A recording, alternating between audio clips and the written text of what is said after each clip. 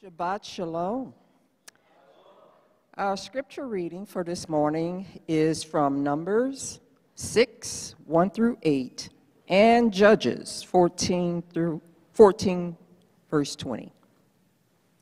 Again, the Lord spoke to Moses, saying, Speak to the sons of Israel and say to them, When a man or woman makes a special vow, namely the vow of a Nazarite, to live as a Nazarite for the Lord. He shall abstain from wine and strong drink. He shall consume no vinegar, whether made from wine or strong drink, nor shall he drink any grape juice, nor eat fresh or dried grapes. All the days of his consecration he shall not eat anything that is produced from the grapevine, from the seeds even to the skin. All the days of his vow of consecration, no razor shall pass over his head.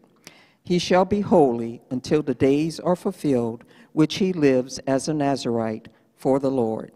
He shall let the locks of hair of his head grow long. All the days of his life as a Nazarite for the Lord, he shall not come up to a dead person. He shall not make himself unclean for his father or for his mother for his brother or for his sister when they die, because his consecration to God is on his head. All the days of his consecration, he is holy to the Lord. In Judges 14, verse 20, but Samson's wife was given to his companion, who he had been his friend. It's so great to see all the different people that serve here. It's, it blows me away. And then to see the Allens, we miss you all.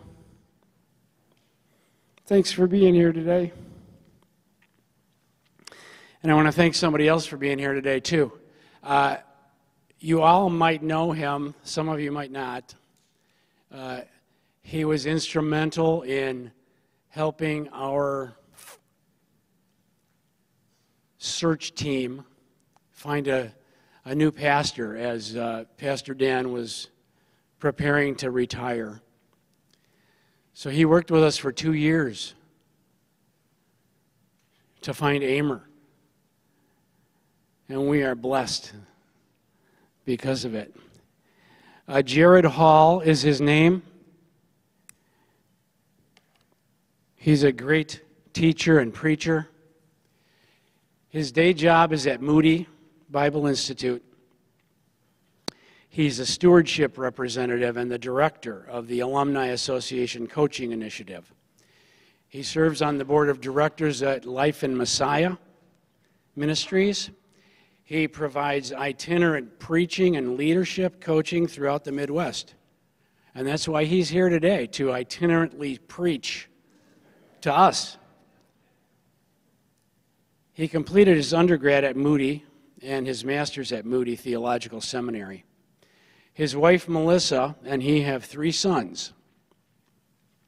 And this, I think, is the most interesting part about Gerad.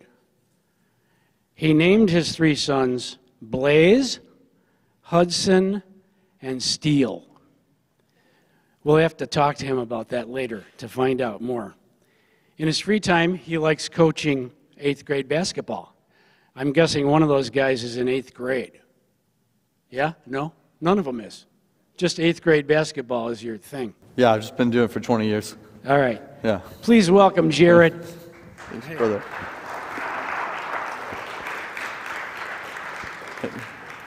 Allen's, I just want you to know that Craig has never once got weepy at seeing me, and so I'm very jealous of his fondness for you. Uh, I don't have that same thing. Uh, since Pastor Amer has taken over, uh, the beam has gotten messier. I don't know, there's a lot of things going on up here. We'll have to cover that in our next coaching session. Um, Shabbat Shalom. I hope that you guys had a restful Thanksgiving. I did not. Uh, I hosted my in laws or outlaws based on how Thursday went And, uh, and then my family, yesterday, I smoked three turkeys in 24 hours. Um, and so this is the most restful experience I've had. So I'm very grateful to see all of you. It's always a joy and a gift to be at Olive Tree. Uh, the last time that I preached here was Shabbat following Thanksgiving a year ago, which was the last time I saw the Allens. And so I'm actually just continuing where I left off last year.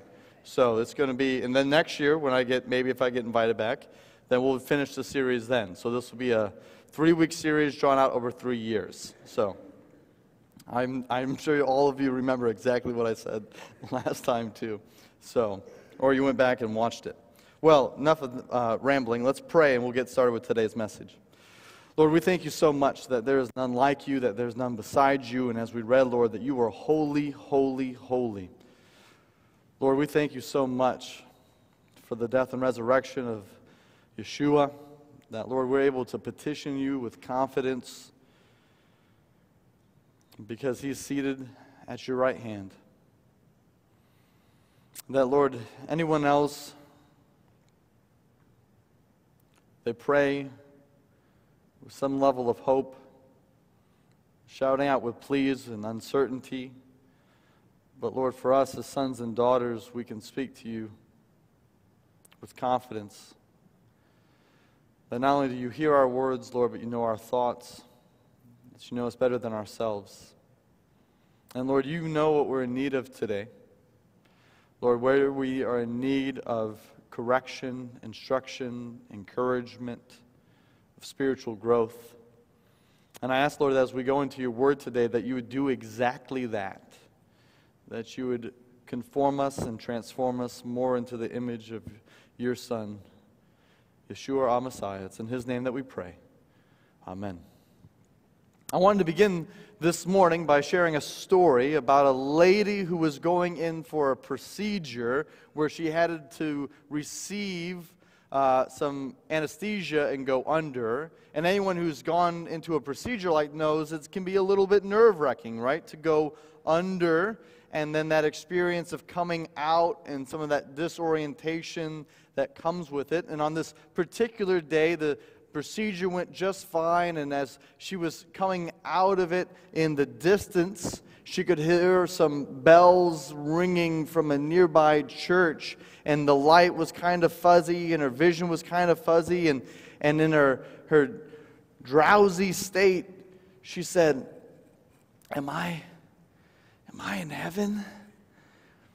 And, and the doctor, a bit concerned as she was coming out of the anesthesia, put his hand on her and shook her a little bit. And, no, no, no, Mary, no, Mary, you're, you're, you're with us. And she goes, Oh, Dr. Brown, I can't be heaven if you're here.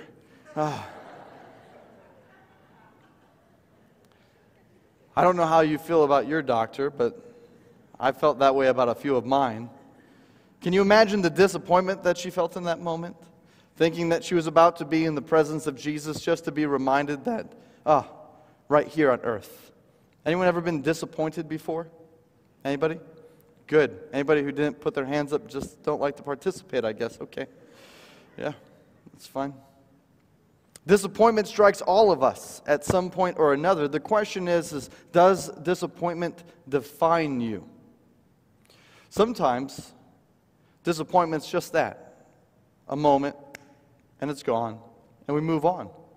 For some of us, though, there is a disappointment or a series of disappointments that continues to shape and influence the way that we see everyday life, the way that we see the relationships around us, the way that we see ourselves.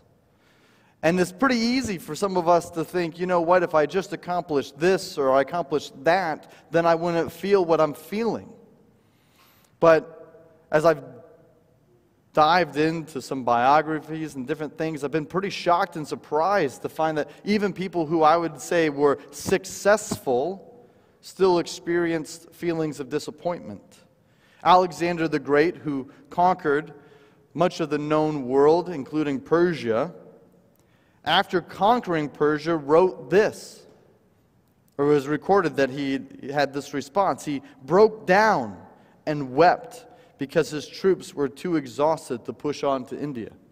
I mean, think about this. This is the guy who influenced much of the world today, he had successfully spread the Greek language, Greek thought, Greek sports. I mean, the reason why anybody ever been in a gymnasium before, right? That's all thanks to Alexander the Great.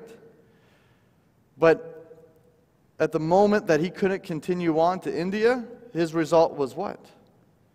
Disappointment. Felt like a failure. Wept. No rejoicing, no celebration. Another gentleman, John Quincy Adams, the sixth president of the United States.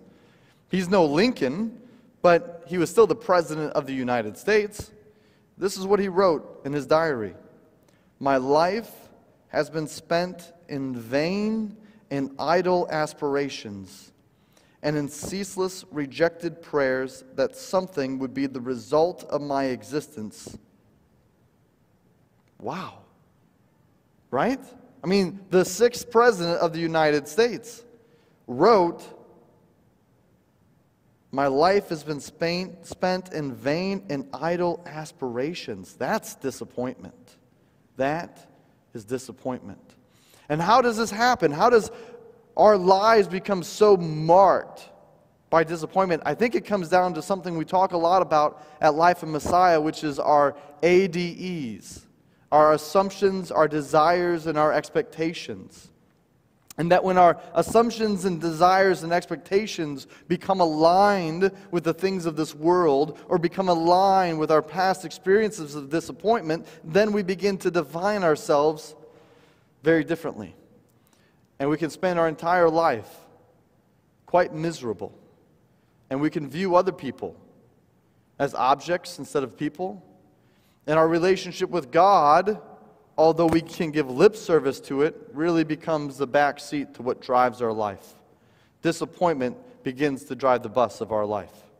And I want to take a look at a passage of Scripture where there is a series of disappointments and the way that God breaks through to give us some perhaps clarity and perspective and how best to relate to the Lord and how that should define how we live. So if you have a copy of the scriptures, open up with me to Judges chapter 15. Judges chapter 15. As you're turning there, uh, we covered Samson's background by reading the Nazarite vow. That gives us clarity to what Samson's situation in life is that he's a man dedicated to the Lord, that he shouldn't touch anything dead, he shouldn't have anything to do with the fruit of the vine, and he shouldn't cut his hair. If you're familiar with Judges 14, which we covered a year ago, he's checked two of those three boxes in breaking his vows. He's not only touched dead bodies, he ripped a lion apart, he killed several Philistines, and he scooped honey out of a lion's carcass and ate it, yuck, and gave it to mom and dad for them to eat, double yuck. So, not sure what you guys did for dessert this holiday. Hopefully, it wasn't that. Judges 15. Now, the chapter ends. Samson uh, kills some Philistines. He drops their clothes down back at his wedding. He goes home. His father in law gives his bride to be away to the best man, and he goes home to sulk with mom and dad. So, really healthy family dynamics there. I feel like my sarcasm is wasted on this Shabbat. I don't know why. I feel like it's just a little, flying a little heavy here. Verse 1 says this After some days, at the time of wheat harvest, Samson went to visit his wife with a young goat. And he said, I will go in to my wife in the chamber. But her father would not allow him to go in. And her father said, I really thought that you utterly hated her, so I gave her to your companion. Is not her younger sister more beautiful than she? Please take her instead. And Samson said to them, This time I shall be innocent in regard to the Philistines when I do harm to them. Let's pause. So, the wheat harvest in Israel takes place in May. So, we're only probably a couple weeks, maybe a month after the scene closed in chapter 14. So, some time has expired, but not a long time has expired. And notice that Samson has kind of cooled off and he's decided that he wants to go back to his wife. And what does he do? He takes a young goat to her. Gentlemen, Make a note in the margin of your Bible. Regardless of what your wife's love language is, a young goat will not make up for such things.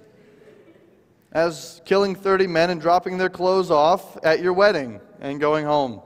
Doesn't work. So, usually, if you bring a young goat home to your wife to say you're sorry, you've just created more problems, not solved any problems. So, there's some advice for you if you get nothing else from today's message. Now, what happens? Samson finds out what the reader already knows. As the reader, we know that the bride has been given away. Samson doesn't know that. He finds this out. Now, I think his father in law has a reasonable response. I thought you utterly hated us. That's the impression you gave off, right? So, what does he say?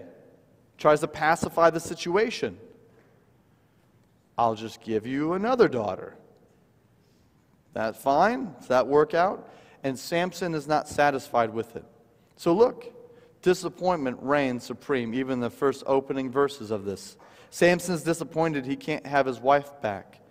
The father's disappointed that Samson's come back and that handing off his other daughter doesn't work. Now, notice what Samson's resolve is. This time, I will be innocent of the Philistines' blood on my hands. So let's take a look to see how Samson deals with his disappointment. Verse 4.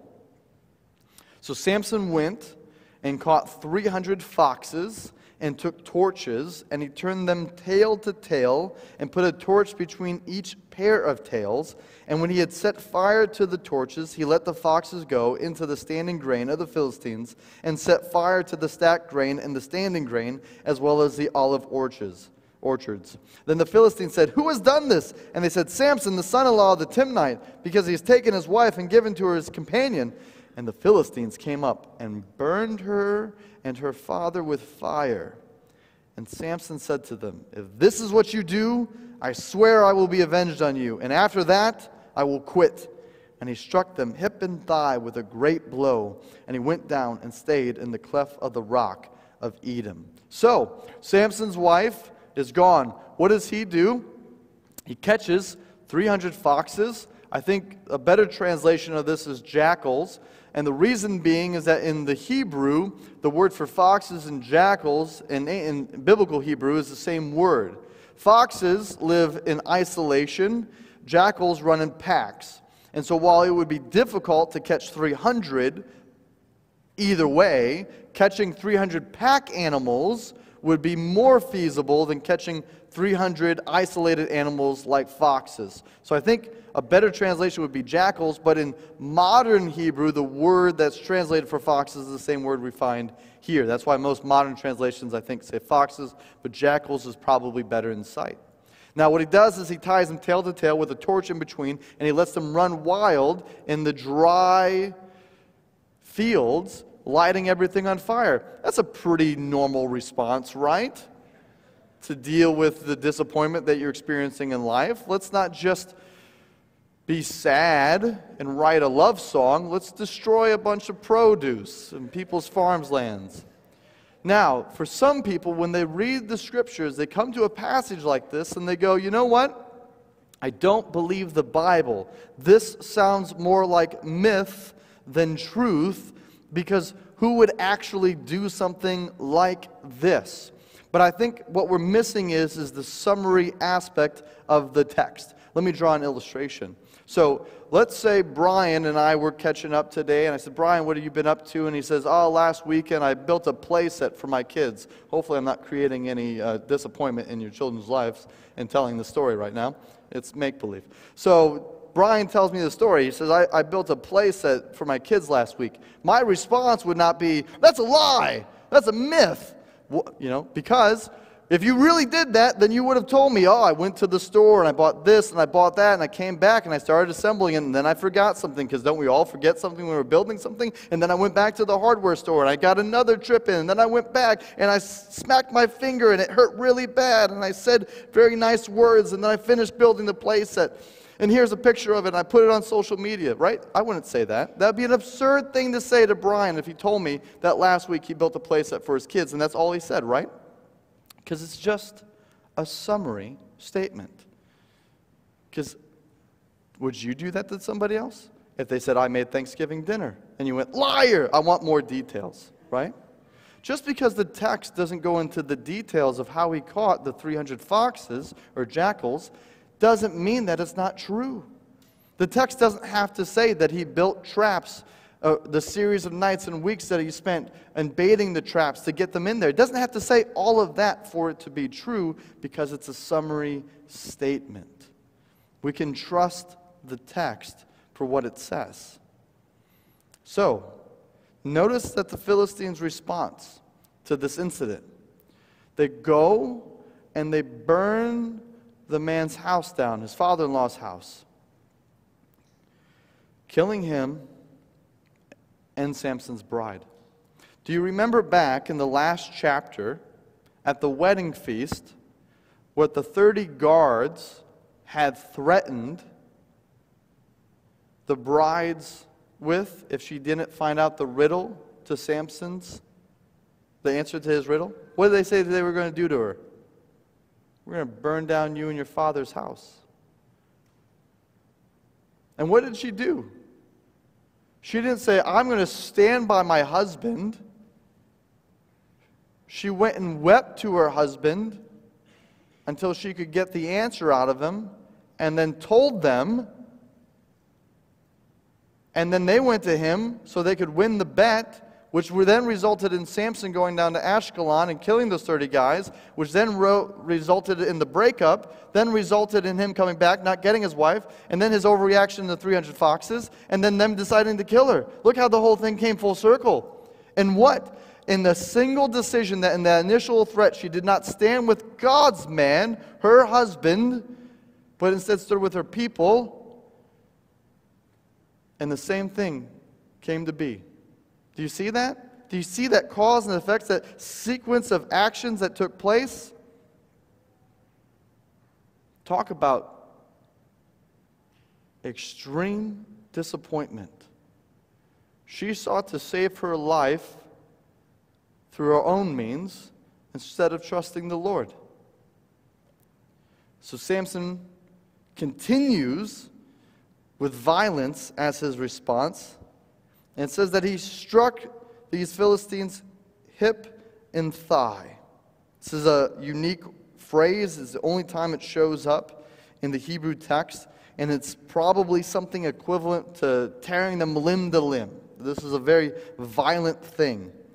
But notice what, he's, what Samson thinks that I will result in, this will result in violence one last time, and then I'll quit. So what does he do? He went down and stayed in the cleft of the rock of Etam. I think this is Samson's retirement. I think Samson is trying to retire from being a judge of Israel. I've killed more Philistines. My wife's dead. I'm going to go out into the wilderness and be. But the problem is, is that Samson' job as a judge is not over yet. And because violence is going to result in more actions. So, verse 9, what happens? Then the Philistines came up and they encamped in Judah and made a raid on Lehi. And the men of Judah said, Why have you come up against us? And they said, They have come up to bind Samson to do him as he did to us. Then 3,000 men of Judah went down to the cleft of the rock of Etam and said to Samson, do you not know that the Philistines are rulers over us? What then is this that you have done to us? And he said to them, As they did to me, so I've done to them. And they said to him, We have come down to bind you, that we may give you into the hands of the Philistines. And Samson said to them, Swear to me that you will not attack me yourselves. They said to him, No, we will only bind you and give you into their hands. We will surely not kill you.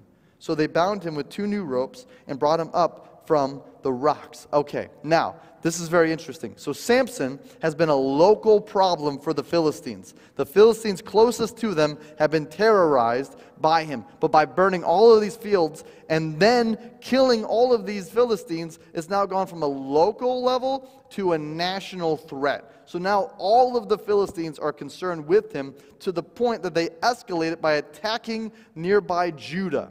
Now, what does Judah say? Judah doesn't say, we're going to stand with our judge, Samson. they say, Whoa, whoa, whoa, whoa, whoa.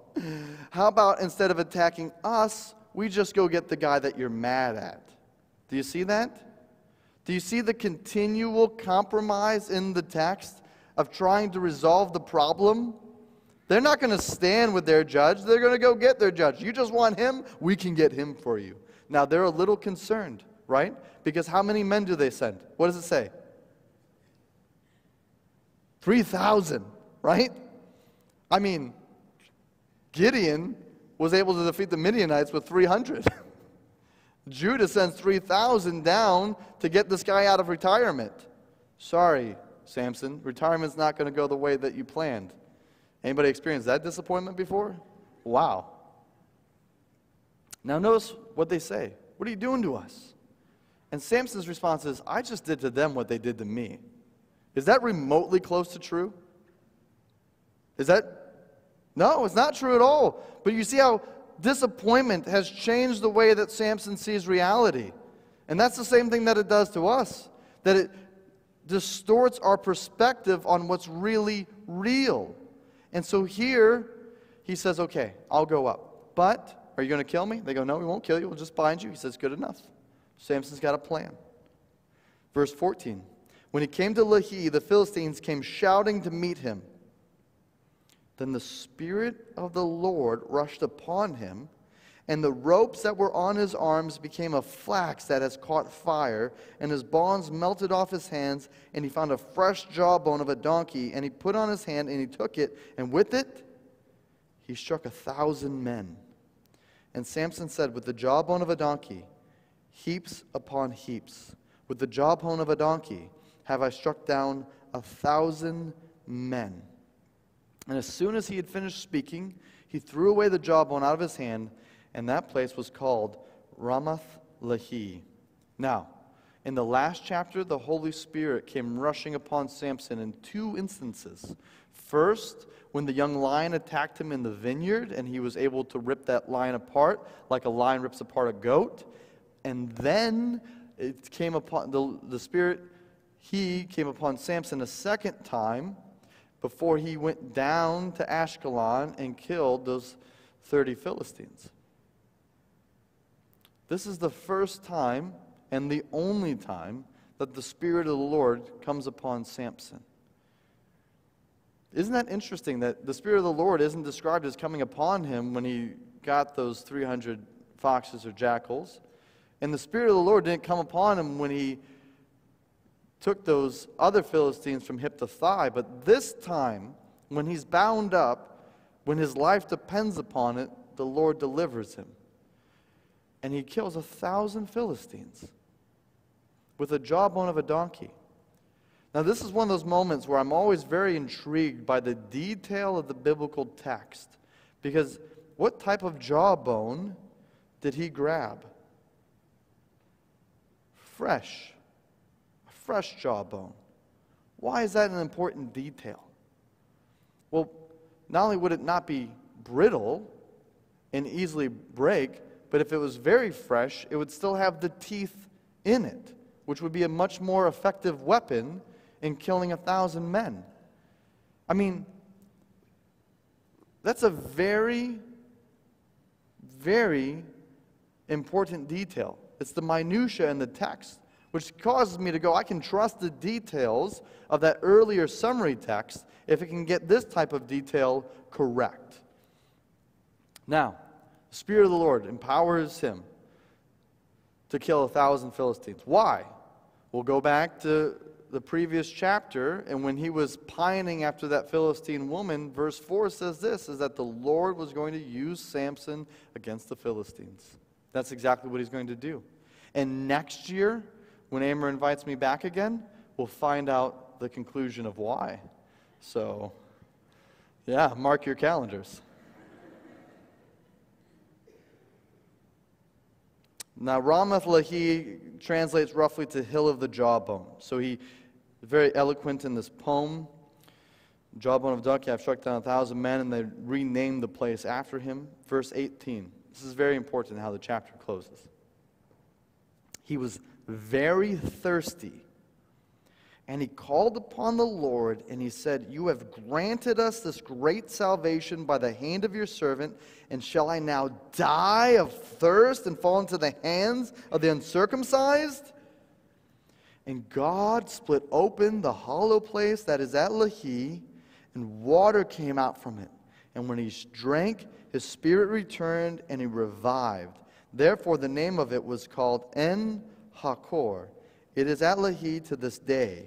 And he judged Israel in the days of the Philistines 20 years. Now, this is the very first time that Samson speaks to the Lord. This is the first time that he prays. This is it. There's one more time that it will happen, but this is the first time. And notice what happens. He kills a thousand men and he's very thirsty. That's fair. I've never done it, but it seems like a reasonable response. But notice that in his prayer, he does not praise God for deliverance, but almost in a questioning manner, challenging the Lord. You have granted this great salvation by the hand of your servant, and shall I now die of thirst and fall into the hands of the uncircumcised? Talk about ungratefulness. Talk about the way that his disappointment in his life and to this point has shaped and influenced the way that he views the Lord. I mean, a lot of his theology is revealed in this moment. That he's almost shaking his fist at God. You're going to do all of this and now I'm going to die?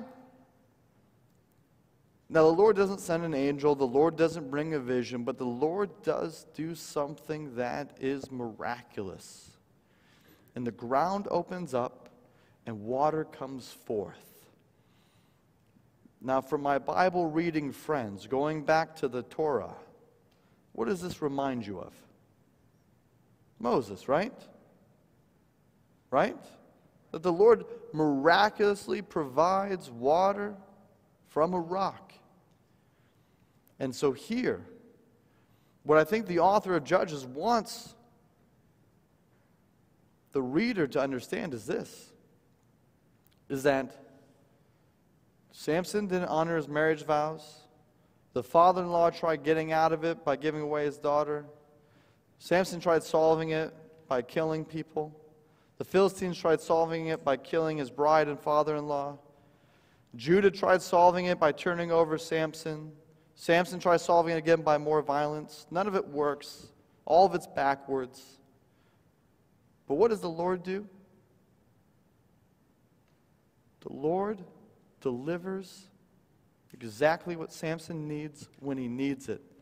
And it's not because of Samson, it's because of who God is. Because God is faithful. You cannot separate God from faithfulness. This is who God is. The same God who delivered Moses in the wilderness delivers Samson this day. Unchanging. Not because of their faithfulness, but because of his faithfulness. And I think this is the very thing that every single person in this narrative has missed. Is that their lives have been defined by disappointment and trying to do things their own way instead of aligning their lives based around this one simple but clear truth God is faithful. And so I want to ask you a question today. What has been defining you? How have you been viewing the world around you? Has it been through the lens of disappointment? Through unmet expectations? Or has it been through the lens of God's faithfulness? Because when we choose to align our decision making based off of who God is, will disappointment come? Yes. Will it define us? I don't believe so. I want to share a story about a man, you're all going to know his name, but I think he's modeled this very, very well in his life. Anybody heard of Dr. Gary Chapman? If you haven't heard, maybe the five love languages. I'm not sure what you know about Dr. Gary Chapman. He's in his 80s now, he's quite spry still. But when he's a young man, as a teenager, down in North Carolina, he was beginning to feel a call on his life to go into full time vocational ministry. So, as a teenager, he gathered his friends together and he said, Would you please pray for the Lord's direction in my life of whether or not I should go into full time ministry? Now, that's pretty refreshing, isn't it? To think about a teenager so sensitive to God's leading in their life that they would gather their friends and their friends would actually gather with them and pray to such end. And as they're praying, Gary senses very clearly yes, the Lord is leading me into full time ministry.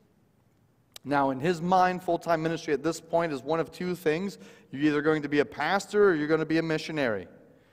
But for Gary, he was pretty certain that being a missionary meant you had to go to a jungle, and if you went to a jungle, there was going to be snakes there, and he was terrified of snakes. So that went right off the table. So can't be a missionary, can't handle snakes. So I'm going to go be a pastor. So he goes to his high school Bible teacher, which was at a public high school. So some things have changed, right? And he says, I want to become a pastor. What should I do? And the pastor said, Have you ever heard about a place called Moody Bible Institute in Chicago? Gary said, Never heard of it. He said, I think it's the place to go if you want to become a pastor. So he sent a letter to Moody. Moody sent back a packet. He applied, he got in, and he left his family for the very first time on a bus to go to Chicago, Illinois. And as he was at Moody, back then a three year program, he learned a lot more about missions one of the things he learned was is that you could become a missionary and not encounter an unusual amount of snakes. And so he actually even became the uh, chaplain for the mission student group on campus and decided, you know what? Actually, I think the Lord is calling me into missions. And one of the things that really did it for him was is that he learned that about 90 at this time 93% of the people trained with the gospel to serve in full-time ministry was located in the United States but that 93% of the world population that didn't know Jesus as Savior lived outside of the United States. And so he was very conflicted by the statistic that 93% of those trained were in, but 93% of those in need were out. He said, I got to go out. And so after he finished Moody, he went to Wheaton, finished his undergrad degree. Then he went to grad school to do intercultural studies. And he met his wife, and his wife was like, I would love to be a missionary too. That's what I want to do. And they're like, This is amazing. And they got married. And as they're finishing grad school, they went to a mission organization and they said, we're ready to go onto the field. And what we want to do is, is we want to train local people with the Bible so that way they begin to share the word with their people. And they were like, that's a beautiful, beautiful picture of what missions can look like. However, if you really want to be a professor and a teacher and train people up there, you have to go get a doctorate. And you can do it while on the field and taking breaks and hiatus and things like this. This is all pre internet, remember? And it'll take you decades. Or you can just go right now, get your doctorate, and then we can send you and you can do this phenomenal work.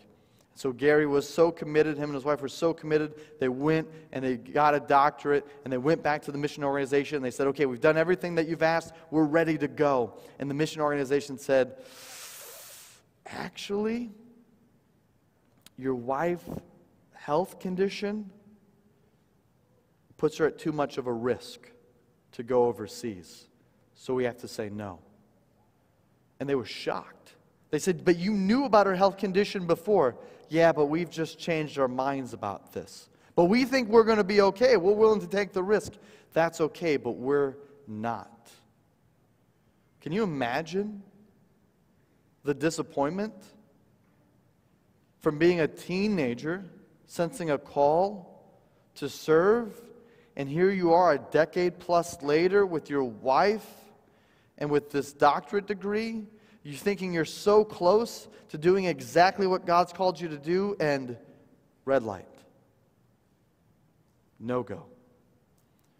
So they moved back home. And Gary thought, well, I've got this doctorate. Surely I should be able to go get a job as a professor somewhere. As it turned out, not so easy.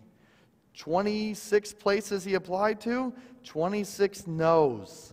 Finally, the 27th place said, Yeah, we'll hire you to teach the Bible. And so Gary here, he's beginning to teach the Bible in this college, and he's enjoying it, but he realizes something. There's something that's really not that great about being a college professor grading papers. It's a bummer. I'm not sure if you know this, but I just started teaching online for Moody. I'm a college professor now. I don't know how this happened. And I want to tell you something. I agree with Gary. It's terrible grading papers. Does anybody here like grading papers? Ah, oh, Geo, you're a freak of nature, man. Amazing. Amazing. Might hire you as my TA, TA, that kind of thing. So Gary lasts one year. And he goes, You know what? I love working with college people, but this grading stuff, it's for the birds. I'm out of here. So he finds a local church nearby. It's a pretty good sized church, and they want to start the first ever college ministry. And so they hire Gary to be their college pastor. And he loves it. But he realizes these kids, they got a lot of problems. They're adults, but they're kids, and they need the Word of God. And as he spends a decade doing it, he realizes that there's this whole other generation coming through that's not getting any attention from the church. There's this group of singles in the church, and there's nothing for them. There's things for kids, and there's things for marrieds, and there's things for seniors, but there is nothing for single people. And so Gary asked the church permission Can I start a singles ministry? He said, Yeah. So he spent another decade ministering to singles. It was a whole different ballgame. And he took everything that he learned from those 10 years working with singles and those 10 years of working with college students and 20 years of doing counseling, and he put it all in a book called The Five Love Languages. And they published. And something strange happened when they published that book. It sold pretty well, but the next year, it sold more. And the next year, it sold more. And the next year, it sold more. And that continued to happen for 15 years. And I'm not sure if you know this or not, but books don't sell more copies year over year for 15 years. It's nearly unprecedented.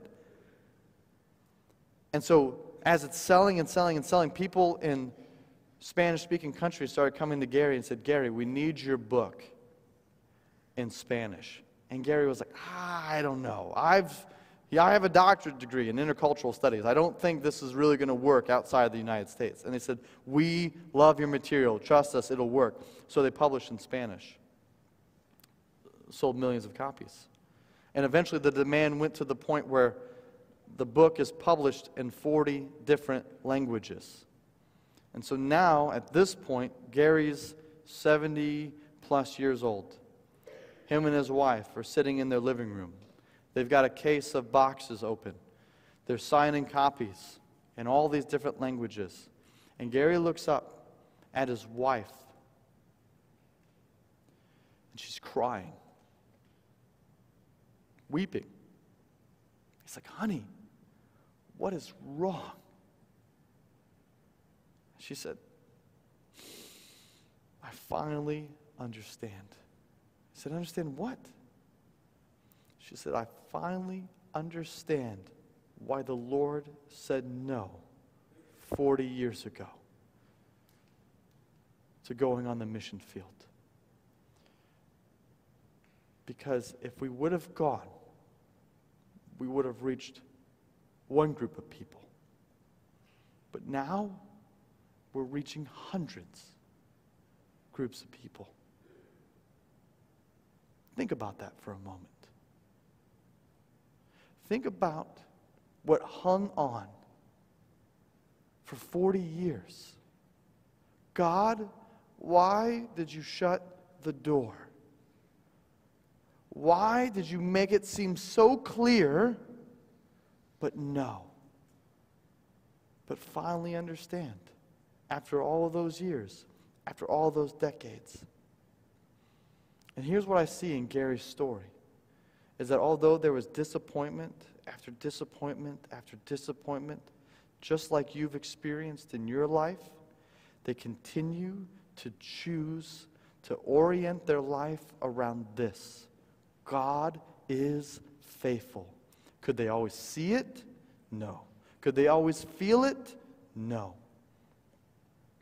But this is what Pastor Dan has said to me, and I'm sure to many of you think right, do right, and eventually you might feel right.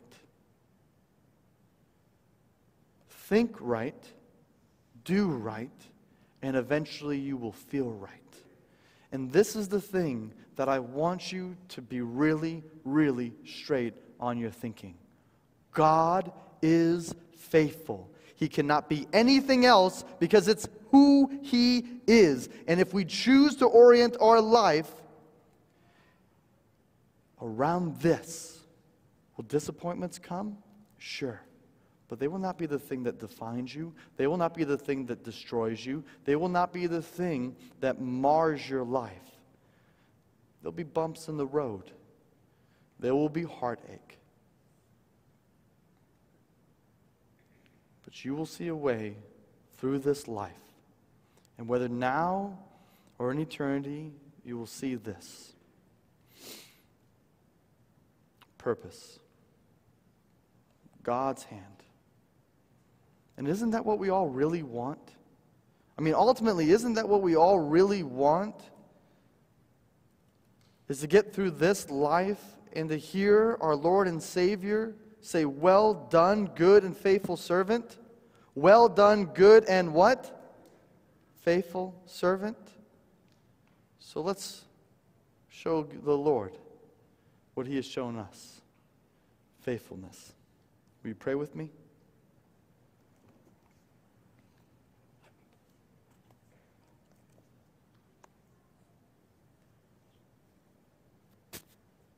Father, there have been men and women through the ages, men and women through the ages that have chosen to follow you in the most difficult of circumstances. Some people are well known in history, and other people we've never heard of. And yet, Lord, it doesn't matter whether or not we've heard of them. The important thing is, Lord, is that they've chosen to respond to you. And Lord, I don't know what each man and each woman is walking through today. Lord, I don't know what hurt and disappointment is heavy on our hearts, on our minds. I don't know what things have twisted and contorted our view of you and ourselves and the world around us from our past. But I pray, Lord, that we'd see you for who you are, God, faithful, that we'd choose to follow your Son, Yeshua, that, Lord, you make our path straight. Because, Lord, on our own, it'll always be crooked. On our own, Lord, we will always veer off to the right and to the left, and our feet will find destruction every time, Lord. Surely that. So I ask, Lord, that by the power of your Spirit, that there's a man or a woman in need of repentance today, because they have not chosen to respond to you as who you are, faithful, that they would repent and experience forgiveness before you. Lord, if there's a way in us that is not right, Lord, that you would reveal it. But that, Lord, today would be a day of reckoning. That this would not be a passing moment where we leave this place, Lord, but that your Spirit would work and move. Because, Lord, you desire all of us. It's in Jesus' name that I pray. Amen.